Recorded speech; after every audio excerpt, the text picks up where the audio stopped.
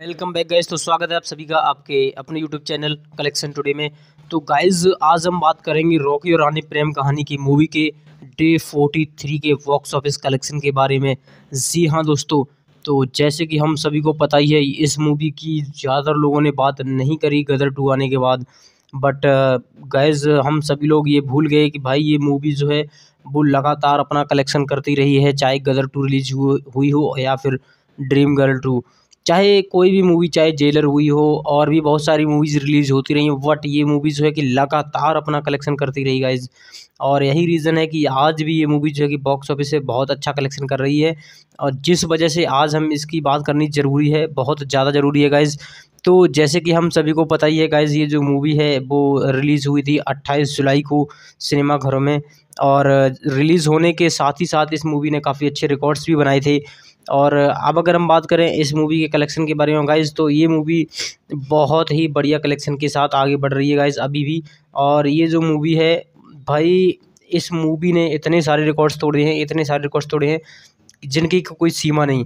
भाई मतलब सबसे बड़ी चीज़ ये है कि आज को फोर्टी थ्री डे है और गदर टू मूवी रिलीज़ हो चुकी है, जवान रिलीज़ हो चुकी है, उसके साथ साथ जेलर और भी बहुत सारी रिलीज़ हो चुकी हैं मूवी बट फिर भी ये मूवी जो है कि बॉक्स ऑफ़िस पे रुकने का नाम नहीं ले रही है गाइज़ और इस मूवी ने जो भाई कलेक्शन किया ना भाई, अगर बात करें पूरी आज तक के इंडिया नेट कलेक्शन के बारे में तो इस मूवी ने जो है कि एक सौ बावन करोड़ इंडिया नेट कलेक्शन किया है। जी हाँ गाइज़ एक सौ बावन करोड़ इंडिया नेट और वहीं इंडिया ग्रॉस की अगर बात करी जाए तो एक सौ तिरासी करोड़, जी हाँ गाइज़ एक सौ तिरासी करोड़ इंडिया नेट कलेक्शन कर चुकी है गाइज़ और मूवी ने अब तक जो है कि बर्ड बैडली जो कलेक्शन किया है, वो किया है तीन सौ अड़तालीस करोड़।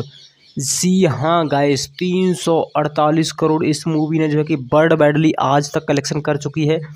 मूवी को मात्र दो करोड़ और कमाने हैं और उसके साथ ही साथ ये मूवी जो है कि साढ़े तीन सौ करोड़ के किलम में शामिल हो जाएगी गाइस अब मुझे ये काम ज़्यादा कठिन नहीं लगता क्योंकि इस मूवी ने जो ओवरसीज़ से कलेक्शन किया ना, भाई, वो बहुत ज़्यादा शॉकिंग है। और जो ओवरसीज़ से कलेक्शन किया गया वो इंडिया से भी ज़्यादा यानी कि वन सिक्सटी फाइव करोड़ का जो है कि इस मूवी ने ओवरसीज़ से कलेक्शन किया है गाइज़ और जितना कि इस मूवी ने इंडिया से नेट जो कलेक्शन किया है वन का।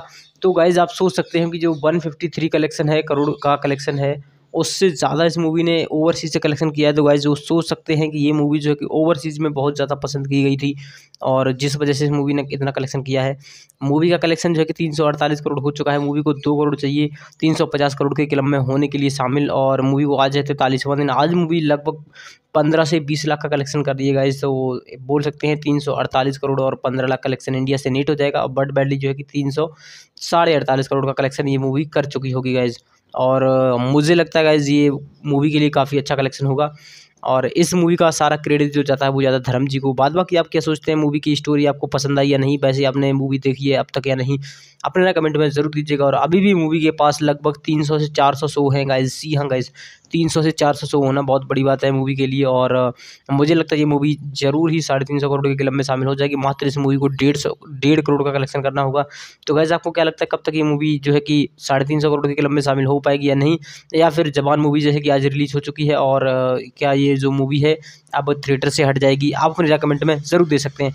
बाद बाकी अगर आप जो है कि धर्म जी के फ़ैन है, जया बच्चन जी के फ़ैन है तो वीडियो को दिल से चैनल को सब्सक्राइब भी कर लीजिए ताकि आपको आने वाली सारी अपडेट्स मिल सकें time to time thank you guys